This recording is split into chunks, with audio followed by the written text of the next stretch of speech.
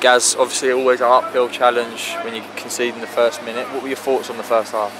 Well, it was, I think the first sort of 15, 20 minutes heads were spinning you can't start away games like we did. Uh, the reaction when the ball went dead was poor.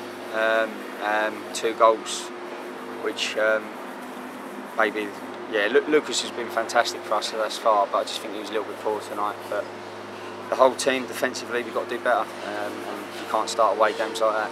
Scored one back before half time.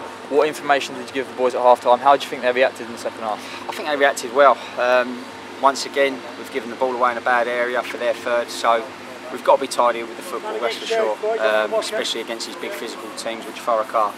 Um, didn't manage to get a goal and we looked like, to be fair, and I'm not being biased, but we had three or four massive chances where if I'm honest with you, I think we should at least at least come out with a point. 100%. Many positives for Burgess Hill on Monday. Yeah. Looked like you should have had a couple at the end there in the last 20 minutes. The game opened right up. What do you think you could have done better in that last 20? Um, just it is just a little bit of rub of the green. It's like Luke Brody's, for instance, gone in there with endeavour, determination, and it's got caught between his legs. Um, so I think we do need that bit of the rub of the green at the moment, just as a football club in general. You know, everything around us at the moment is is slightly negative, no home pitch, captain leaving, things like that. So, um, you know, we, have got to all pull together, keep going. There's, there's massive positives. I think it was the best we've attacked this year. And it looked like the old Worthing at times, but as I say, it's okay doing that, but you've got to defend your net, especially away from home. Lloyd Dawes pulled out in the first half. Is there any update?